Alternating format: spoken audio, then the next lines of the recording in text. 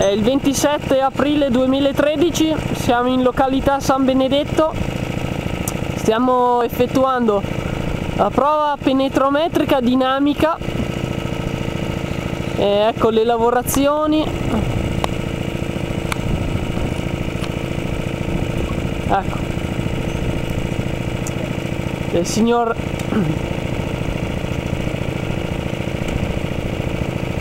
proprietario dell'azienda agricola.